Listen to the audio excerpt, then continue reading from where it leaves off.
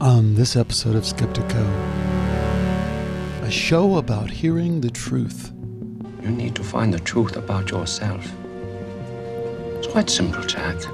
You need to get quiet, not just with your mouth, with your mind. And in that quiet, you will hear the truth. Even if it's coming from yourself. How could you have to force yourself to be what you already are? You're here. So there's nothing you have to force. That first clip was from a 2012 movie, A Thousand Words. And the second was from today's returning guest, Tim Grimes. This show is a little different from the usual Skeptiko stuff, although I've done a few shows on this. And as you know, this is really where my heart's at, what's nearest and dearest to me. So I hope you enjoy it. Welcome to Skeptiko, where we explore controversial science and spirituality with leading researchers, thinkers, and their critics. I'm your host, Alex Tsakiris, and today we welcome back Tim Grimes. Tim is the author of The Joy of Not Thinking, A Radical Approach to Happiness. This is the book that first introduced me to Tim. It's still out there. You can still read it for free on Kindle Unlimited. Great book. Really enjoyed it. You can also find Tim at radicalcounselor.com. I've pulled that up on the screen if you're ever watching on YouTube. And uh, he's got a number of other books on Amazon, and he has a really great podcast as well that I love listening to. I'm just, uh, it's, it's one of the ones I wait for and see if it pops up, and I get to it right away. So, I have had Tim on a couple times. I, obviously, you can tell from what I just said that I really appreciate his work. So I pinged him to do this different project, and I just thought it'd be fun. And Tim, welcome back. Thanks so much for being here. Thank you, Alex. It's uh, always a pleasure. I realize I'm sitting this. Cha- I have a very comfortable chair, and I'm very far back from the screen, so I'm going to move up a little bit. I might move back later. Hi, everybody. that looks good. Okay. Now our now our heads are about the same size instead Yeah. of uh, me looking like giant head. So I pinged you uh, a couple months ago, I guess, because I have this practice. It's one of my daily practices. I won't say spiritual practice, but it is a spiritual practice, and that is that I have these questions that I've written for myself because I've found that questions provoke me and provoke that little voice in my head to answer them in a unique way or in a way that inspires me. So I said, Hey, Tim, I've actually added to my list of questions with some of the questions that I've gotten from your show. What do you think about doing a show on seven questions for the voice inside your head? And you responded in exactly the way I would have expected and hoped that you would respond. You're like, hell yeah, I'm down for that. That sounds good. So I don't know if it'll be seven questions. It might be more, it might be less.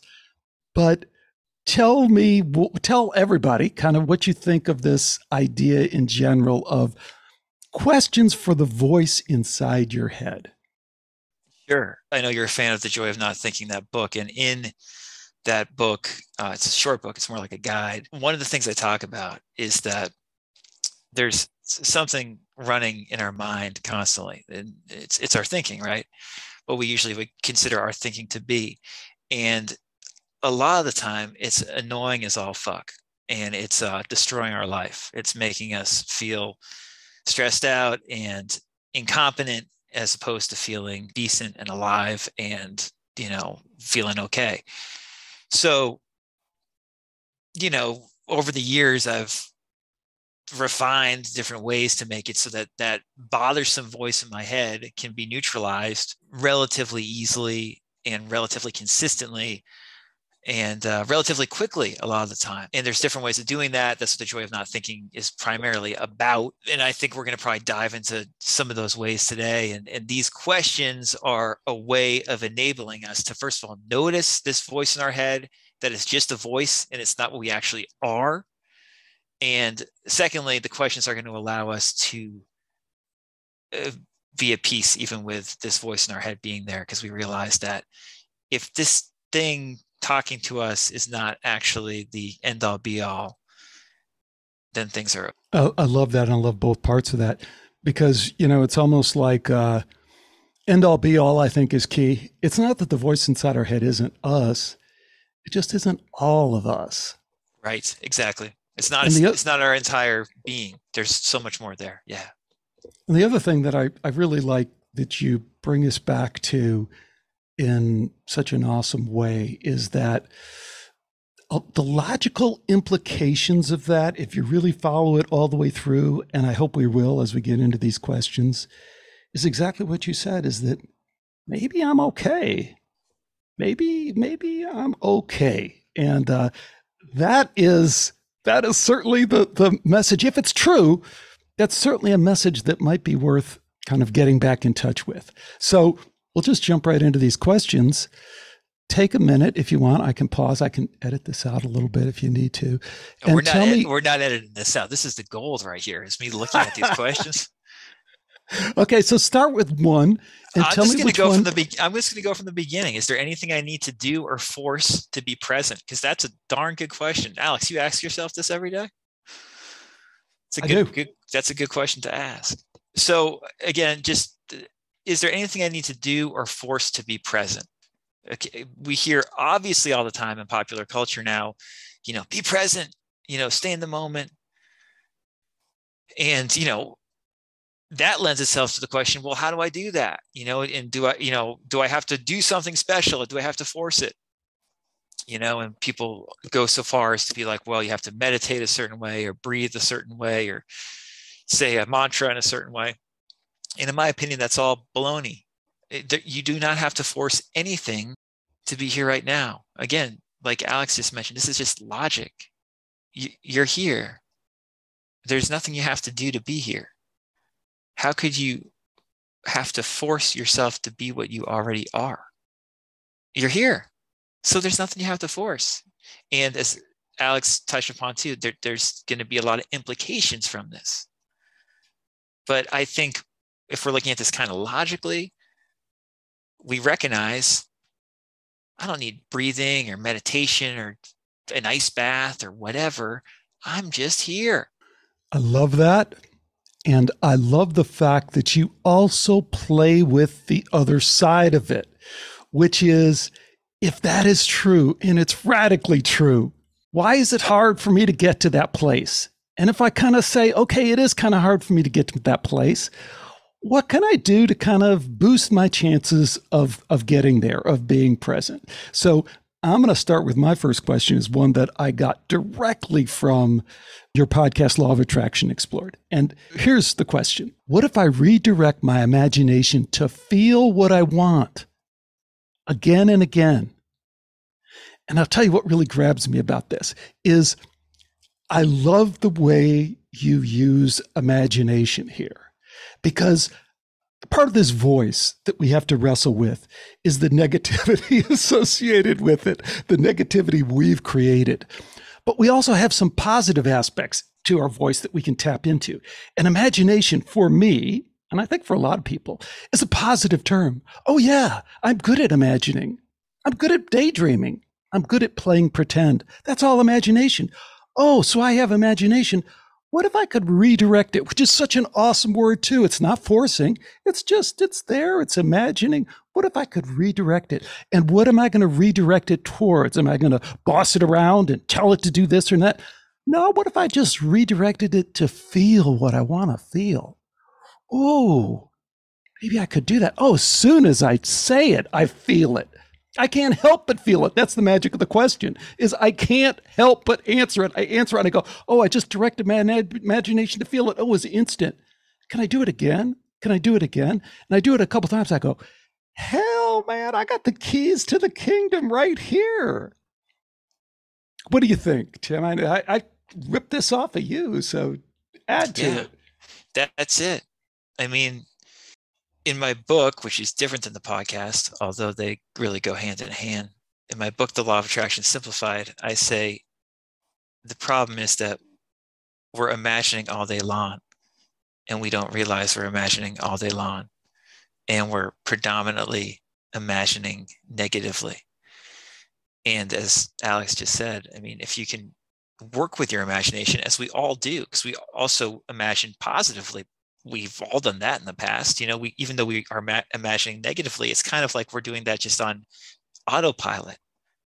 So how about if we start playing with this whole idea more and realize that if we are seemingly always imagining if really imagining might just be another word or synonymous with our thinking or consciousness uh, why don't we just start imagining more of what we want and you know it, it, it sounds easy to do. And it can be more difficult than it sounds but it also can be as simple as what alex just mentioned about redirecting yourself to what you want to feel right now. Because i'm not talking about changing anything in the external world when i talk about redirecting your imagination right now. It's that what you want right now if you're imagining all the time you can imagine what you want to feel or you can at least start to touch that. If you can't quite get there in the imagination, you can at least start redirecting it so you're getting a little bit closer. And the closer you get, the easier it will be to feel it. And even if you can't go all the way right now, you'll start to loosen up some and you might be feeling like crap. And by thinking about what you really want to feel, you'll start not feeling as lousy and neutralize some of that negativity in the very least. And what Alex is saying and many people can do this. They can just redirect, redirect, redirect, redirect until they're feeling pretty darn good, having done nothing except just use their minds and bodies to imagine what's going on right now in the present moment. Okay, why don't you pick the next one? Let me see. This is the, the best part. It's you know what they say, the truth is the uh the silence between the talk or something like that. So how easy? So do we just do how easy is it to look between my eyes and just watch? Is that what that was basically? It, it, it's similar, but it, I mean, a lot of these are going to be similar. They're going to intersect a lot of them. They're, exactly, well said. Right? They're going to intersect a well, so let's, Venn, let's, di- Venn diagram thing. Totally. So yeah, how easy is it to just look between my eyes and just watch? So in other words, how easy is it to do this? Well, you might begin to be getting the, the drift here of what we're discussing it's really freaking easy because we're not trying to do anything outside of ourselves. You're here right now. You are here right now. Okay, that's pretty much undeniable. You're here right now. And you're imagining right now. In my opinion, that's also undeniable. You're thinking, right?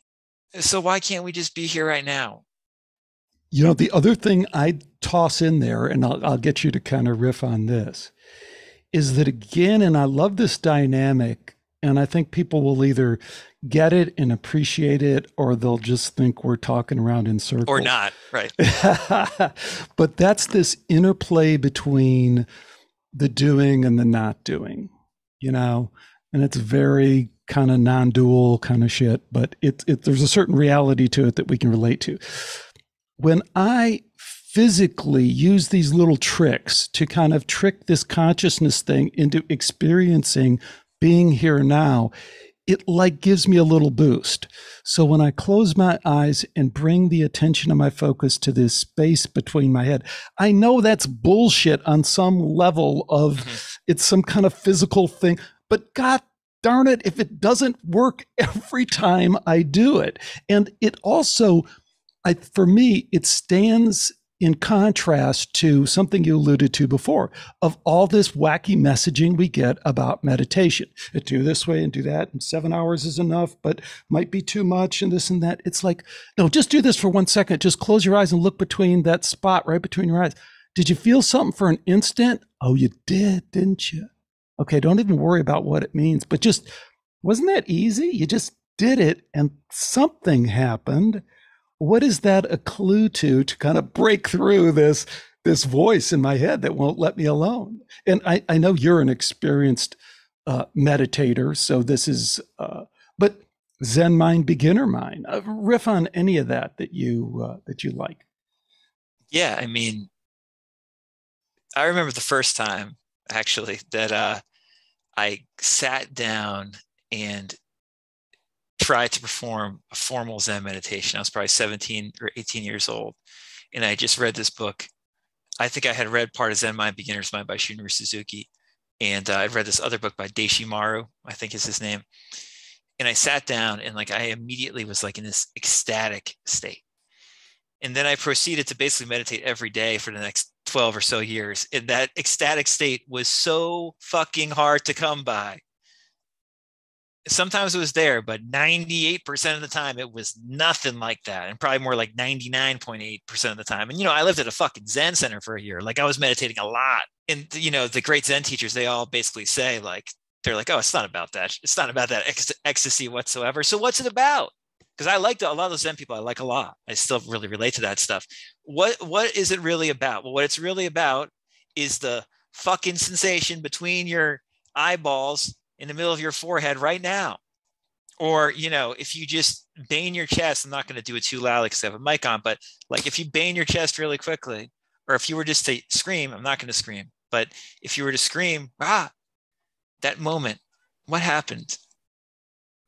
You realize that that thinking mind is not the real you. The real you is something much deeper, profound, holistic, and good, or dare we say it, God, within you that's here all along and is actually running the whole operation. This little thinking thing is just part of it. And this little thinking thing has plenty of good practical purposes, don't get me wrong. But when it is on overdrive and you think that is all there is, it will probably fuck you up in a bad way. That's, you know, most of my work is basically about that. And you do not need to do any formal meditation, formal brouhaha, have a special diet, be in, you know, some kind of crazy discipline, whatever, in order to realize that you are here right now and what you are is not that little thinking mind.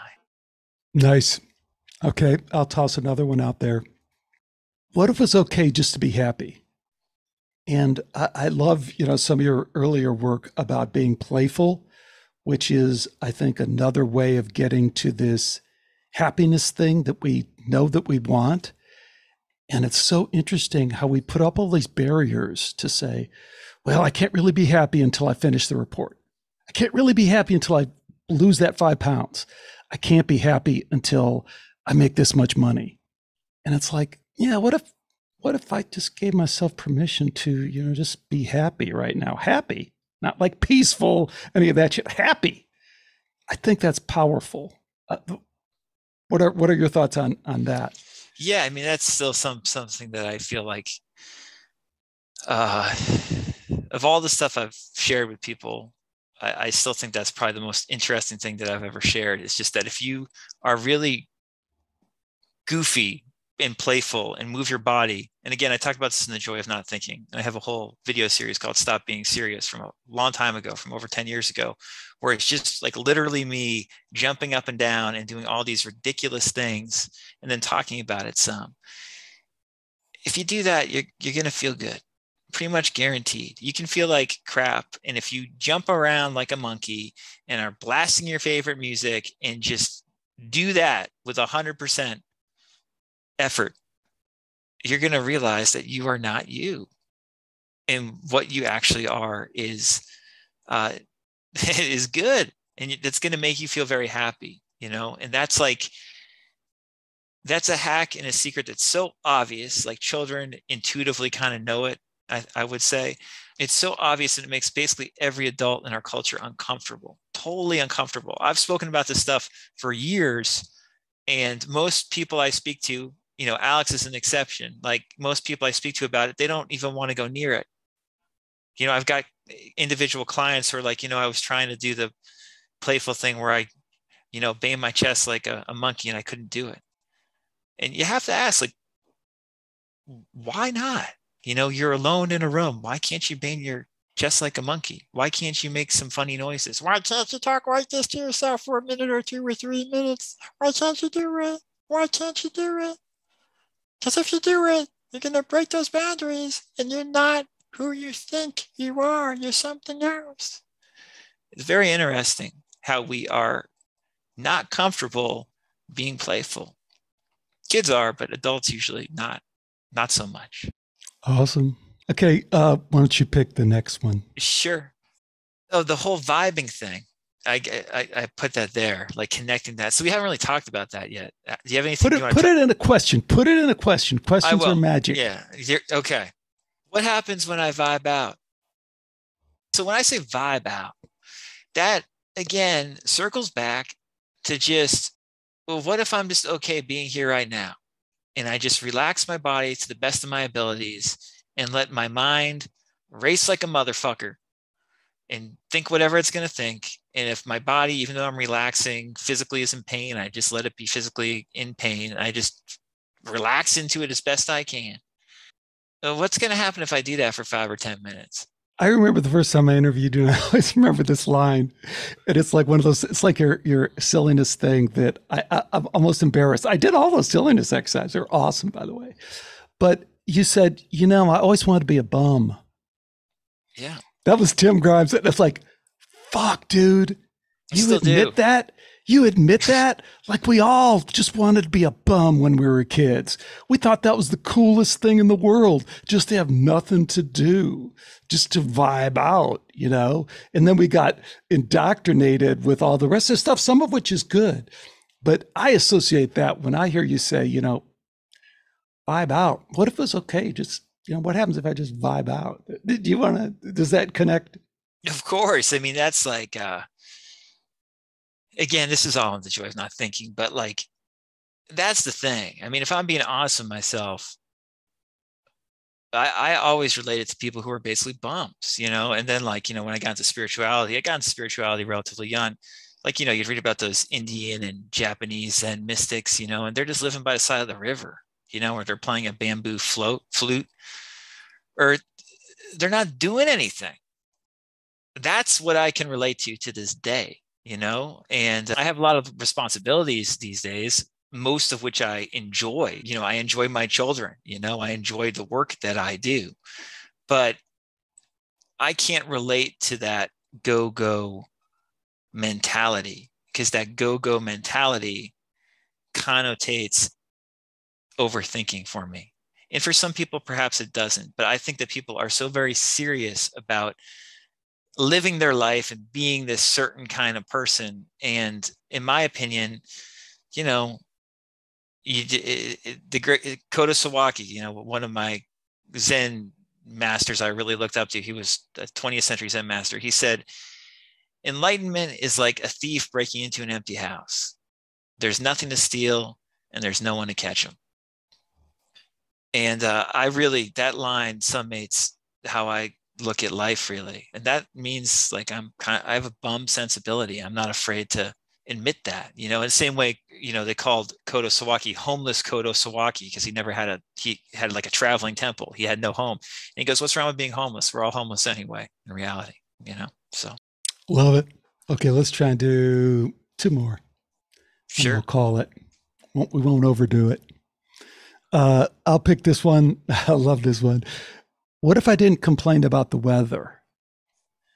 And uh, the reason I throw this in there is because it's kind of a little bit, we're all positive and all this stuff.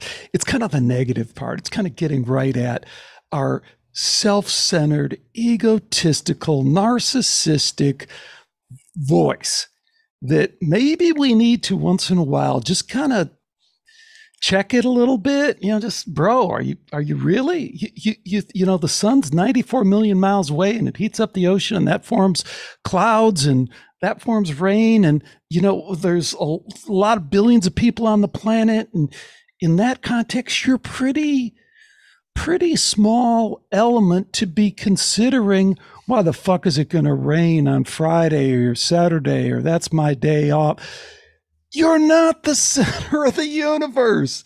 Mr. Sun isn't shining on the ocean in order to rain on your freaking weekend. And weather, I think, immediately catapults us into that. What are what are your thoughts on the kind of checking the narcissistic part of that voice? Well, I think it, you know, I it ties a little bit back into what we were just discussing about being a bum. Like if you're a bum or a dropout, if it rains, ah, it rains. All right. I guess I got to find shelter. But that's all there is to it. It's not like it's not a big deal. And we live in a day and age where we're so inundated with people complaining and social media in many ways there's a lot of good things about social media but in many ways it's like a gigantic pool of people complaining about the weather. And we're just talking about just dropping that from your life or in the very least dropping that from your day-to-day reality. Most stuff that we think we need to happen does not need to happen in order for us to be happy. Okay you get to pick the last one we went way over seven, I think, which is great because yeah. seven was a trick too. Here, in case you didn't notice it, why do you need seven questions? I got about thirty on my list, but seven, you were like, okay, seven questions. But pick the last one. Yeah, I mean, I was just going to say that obviously, any of these questions, if they resonate for you, and exactly like Alex did, you can make your own questions.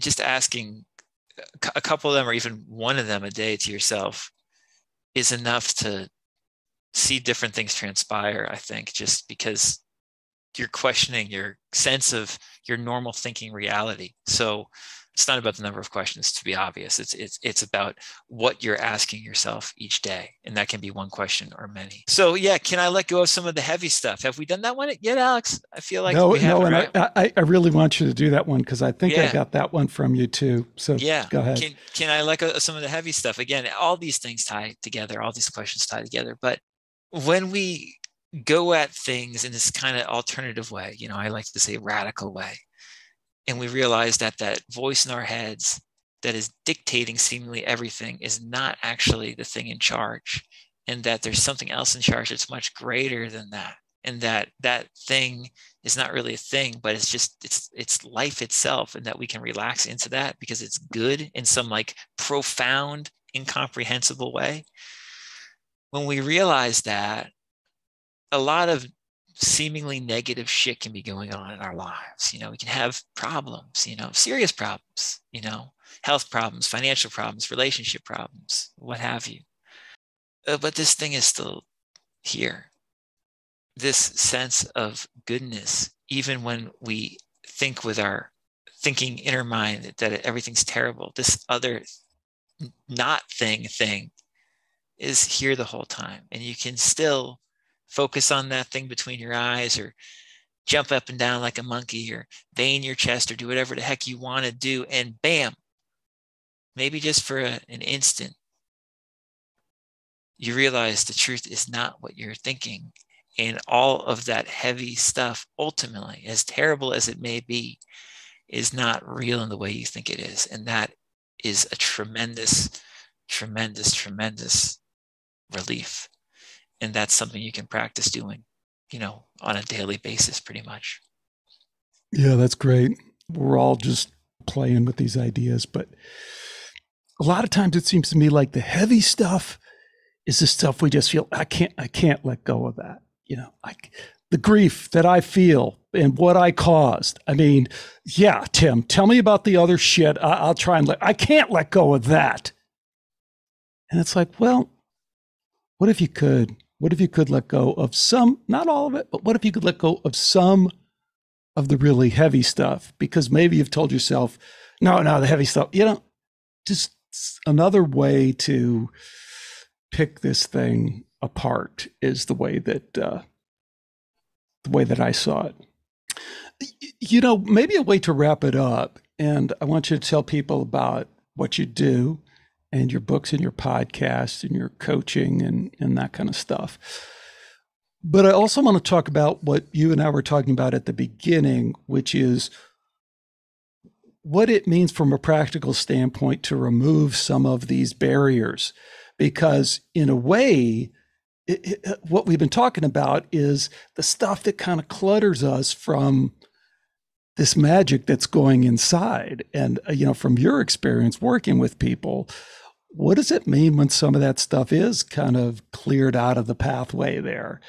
I mean, frankly, you know, miracles can happen, is what people think. But really, I think it's just you get out of your own way. So stuff stuff correspondingly kind of starts to straighten out you know whether that means relationship issues you know i've worked with quite a few people who've had serious relationship issues whether it means you know something with like divorce or kids, stuff like that, all of a sudden the relationship is, you know, it's remedied to a large degree. Something like that, I think, as you get out of your own way and that and you allow for something like that to happen. That's a good example. But when you stop taking your that inner voices seriously, you become a more empathetic person. You know, you don't become uh, dispassionate towards other people's needs. You become more able to deal with people.